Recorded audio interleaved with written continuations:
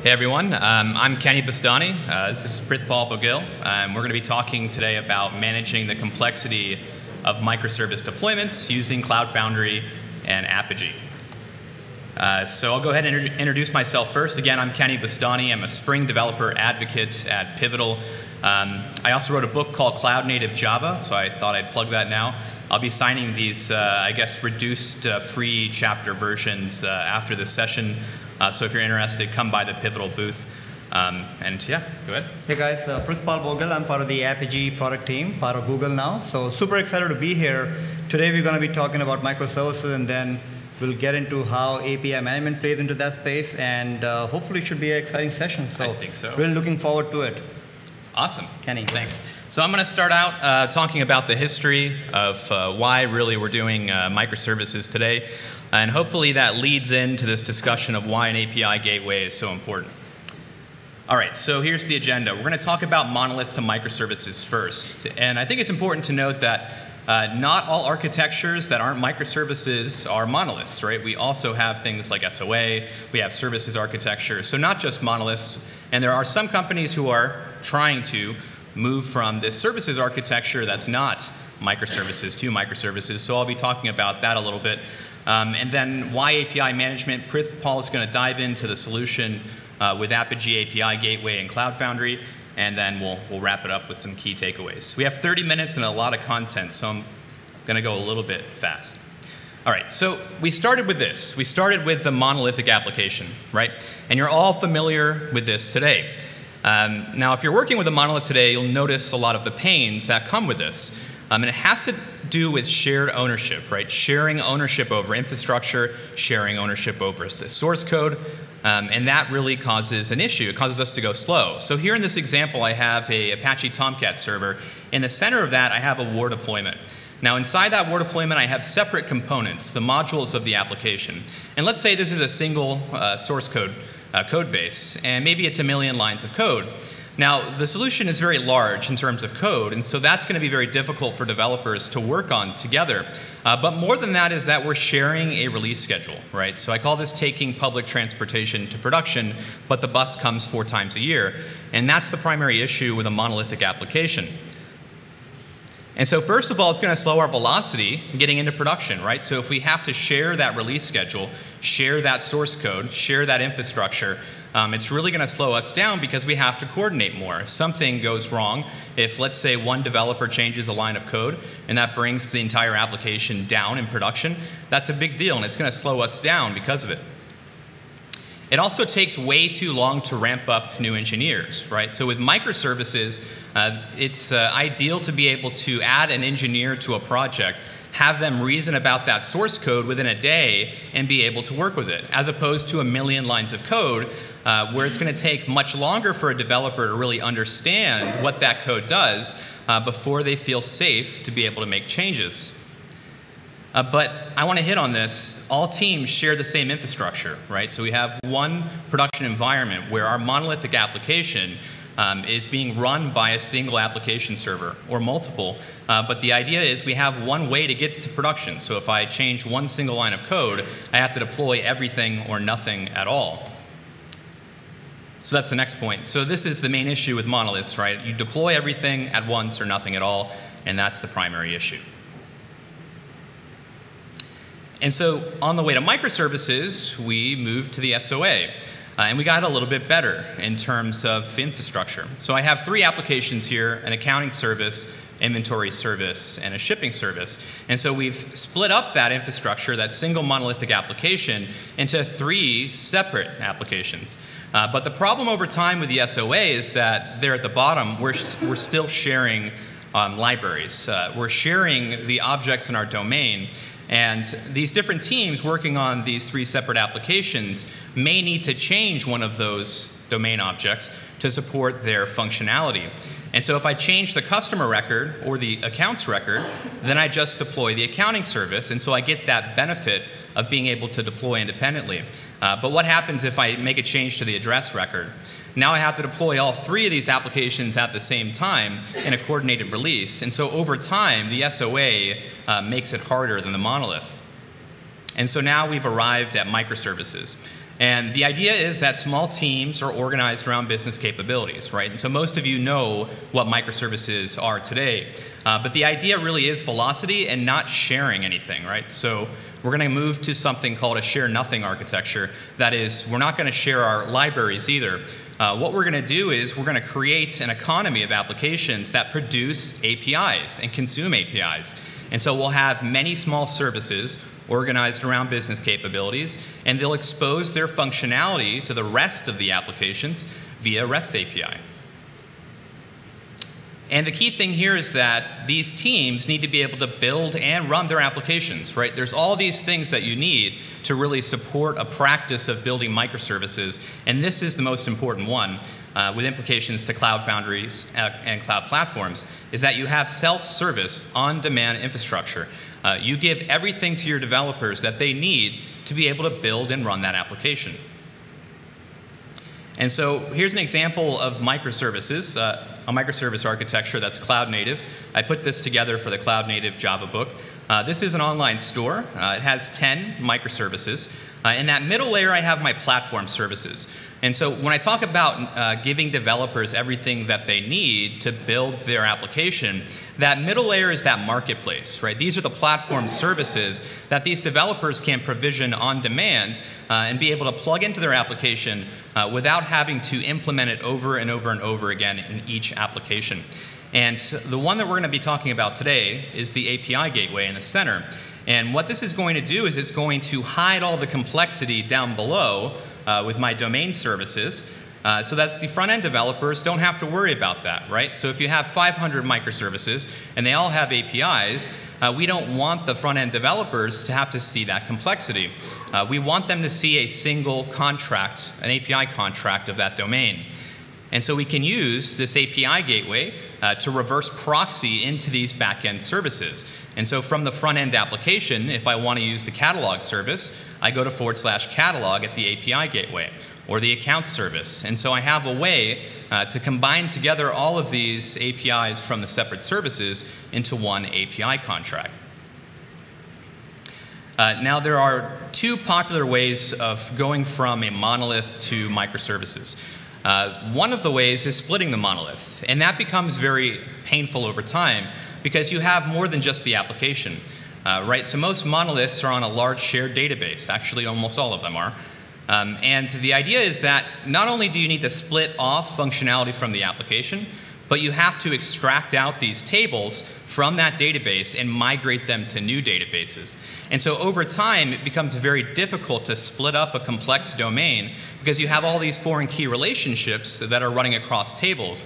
And not only that, in the back end, you also have a data warehouse, right? So you have ETLs running from third-party systems into this large shared database. And so over time, it becomes very, very painful to go to microservices by splitting the monolith. And so there is another strategy called strangling the monolith. Um, and uh, this was first proposed by Martin Fowler. Back in around 2002, he went to Australia on vacation, and he saw this plant here.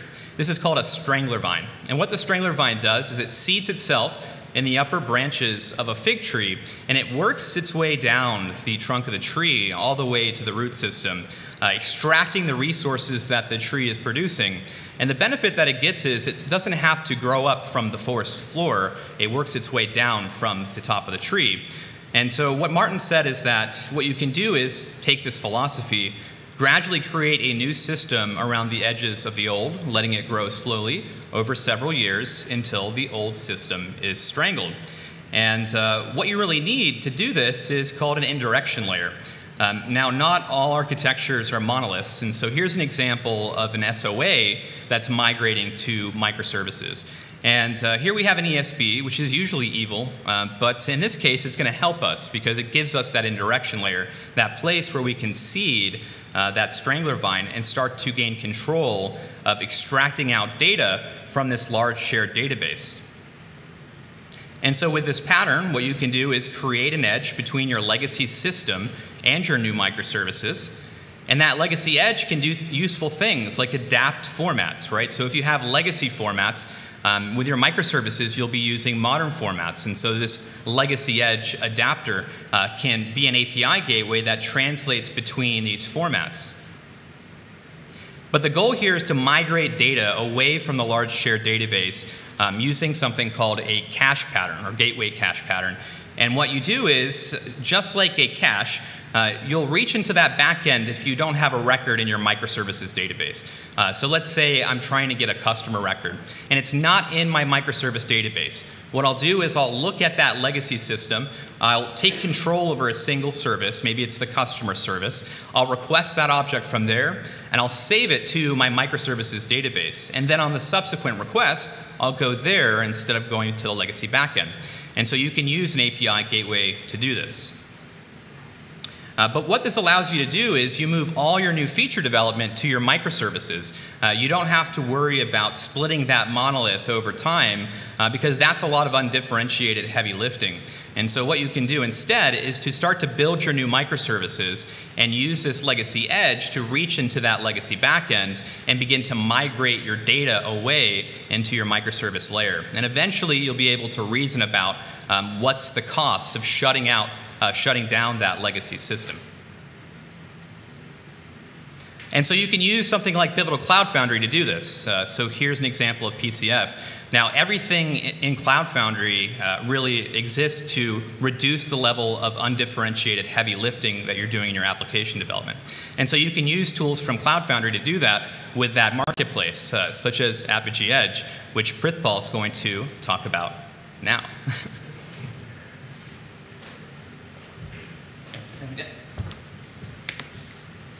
Awesome. So, uh, so can you spend some time taking a look at different strategies for moving from you know your monoliths to microservices?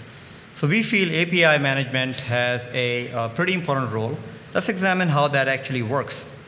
So one of the first things you do as part of app modernization is start to build out microservices, and that's great. But if you focus more on the microservices, it is an architecture style. It's an approach and you start composing and building out business logic within the microservice. It's well contained. So where does an API really come in? Well, API becomes what uh, uh, Kenny had alluded to as the contract. That becomes the way your consumers, whether the consumers happen to be across different teams within your enterprise, or if the microservice now starts to enable a capability outside of your enterprise boundary, that becomes the contract. That becomes the mechanism that app developers, which are building apps against those uh, microservices, use that API as a contract to communicate with that microservice. In some ways, we feel APIs and microservices are very complementary. What do we really mean by that? Well, APIs existed even before app modernization as a strategy became commonplace, which means, yes, you may have services which are either legacy oriented, or you may use something like SOA or a layer similar to that. You are still accessing that through different APIs. As you now start to move into the microservices world with app modernization, especially leveraging platforms like Cloud Foundry, APIs and microservices become complementary in a way that you still access them through standards-based HTTP REST endpoints, right? So from that perspective, that becomes your outside uh, view in into you know, how to access them. One of the other benefits of leveraging APIs is they shield complexity from the, they shield the consumers from any kind of microservices complexity. What do I really mean by that? Well, the reality is, for some period of time, you're going to have your existing enterprise legacy systems, maybe some middleware, but you're slowly moving over to microservices, right?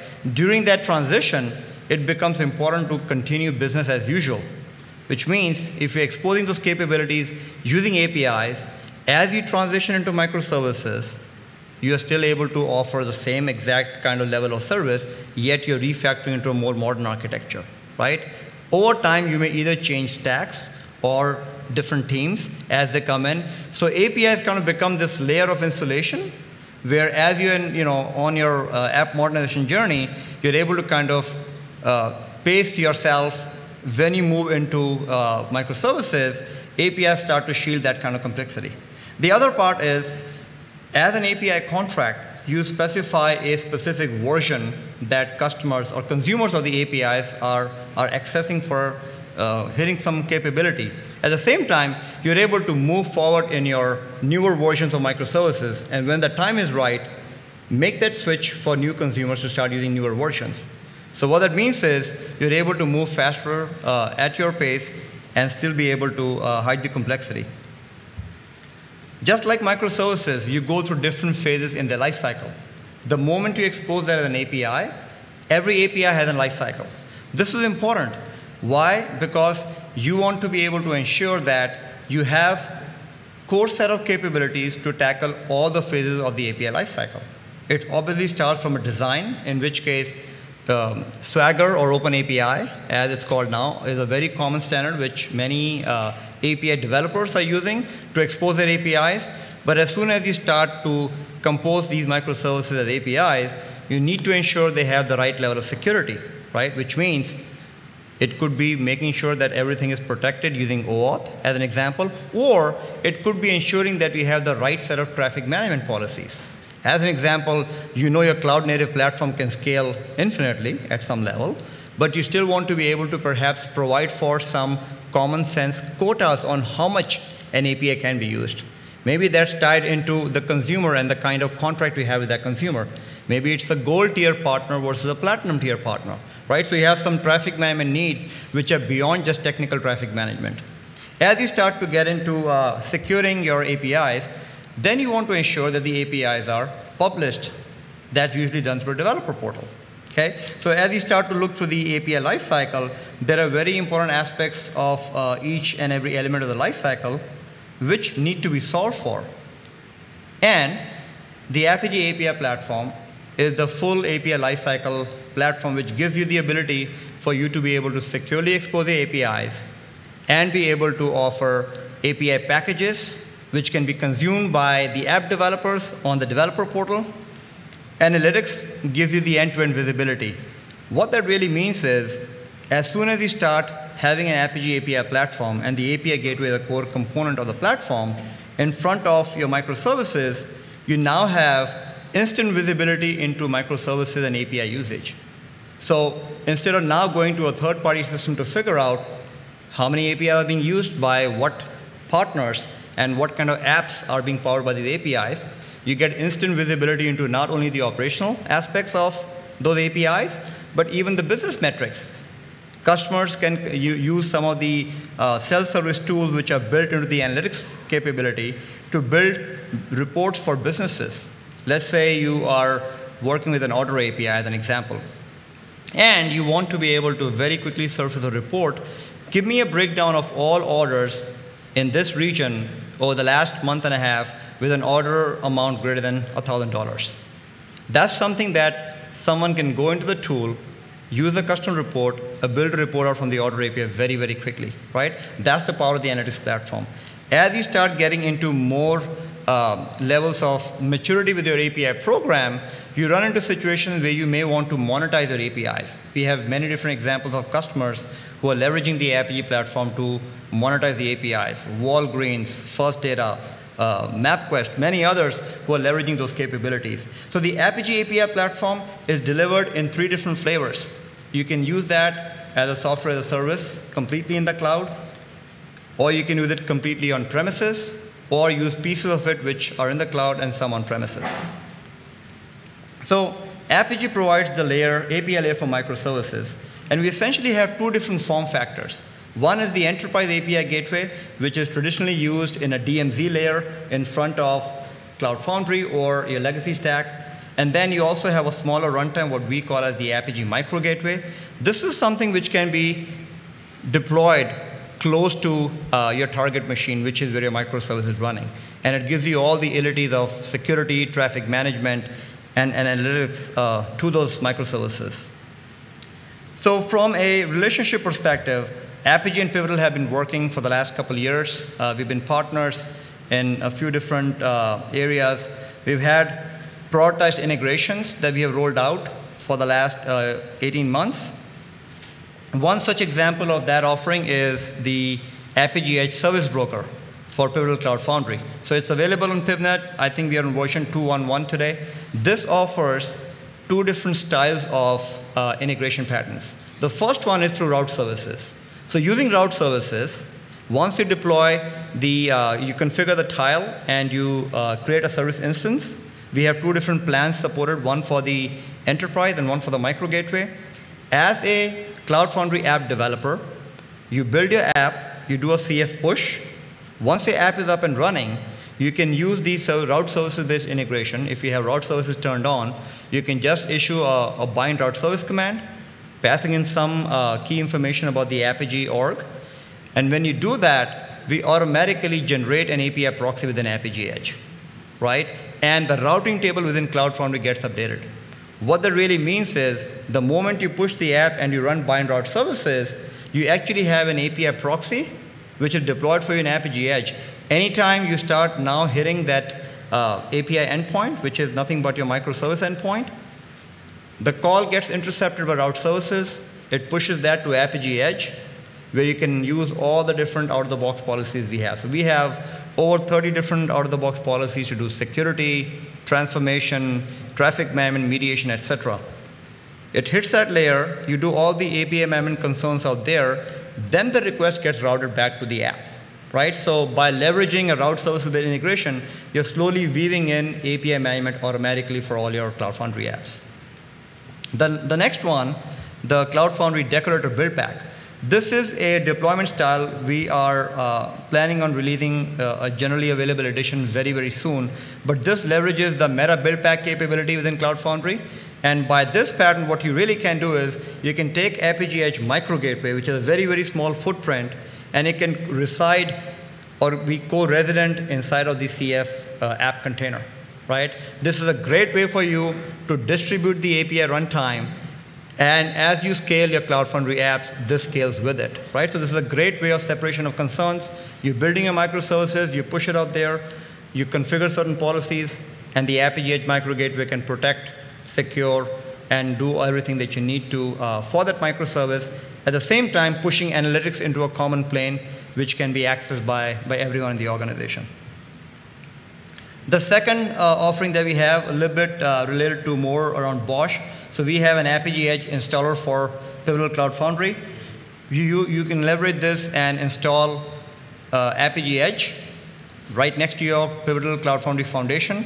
In the same way that BOSH manages Pivotal Cloud Foundry, you can use BOSH to manage Apigee Edge. So, you know, all the benefits of manage, maintenance, self-healing, etc., now get passed into that. This is uh, a pattern which is used by a lot of our on-premises customers, and uh, you know, this continues to get uh, more and more traction. So, use API management as you transition to microservices. I think this is a very, very important uh, bring home slide. And as you saw Kenny walk you through the different uh, pieces of strategy and patterns that you use to now deal with microservices and enable certain key capabilities, reality is business as usual needs to continue on. And for many enterprises, this seems to be a very, very common pattern. They leverage Edge in the front out there for any horizontal API management concerns, which means if I want to do general threat protection, general kind of security and traffic management, whether the request is going to Pivotal Cloud Foundry or to my legacy app, you can use Edge in the front. This becomes your layer of enforcement, right? This also becomes the layer which will cater to all the contract. Uh, one of the other things which Kenny pointed out was the, the gateway cache pattern. This is another classical use case where you can just configure caching out here. So data from a legacy backend and the ones which are needed by microservices could very quickly be cached on the gateway layer. Another big advantage of this approach is many customers are using this to be able to justify decisions on how much stuff they want to move over to Cloud Foundry. So let me give you an example of that. By using the analytics provided by the platform, they're actually able to see in real time what kind of API traffic is served from the legacy platform versus what kind of API traffic is being served from the new Pivotal Cloud Foundry deployments, right? So they're using some of those data points to be able to make decisions on how much traffic needs to move over to the, uh, to the new platform, and thereby leveraging uh, you know, some of the capabilities provided by the platform. So these kind of integrations that we have jointly built and continue to iterate on have benefits for both sides of the house. If you look at the developers, they are able to use some pre-built traffic management, security policies, and analytics and apply them to their microservices, irrespective of how many of them they deploy right? Uh, once you get into a level of maturity with your API program, you're able to then leverage some of the monetization capabilities of the platform to now start charging for APIs and monitor them.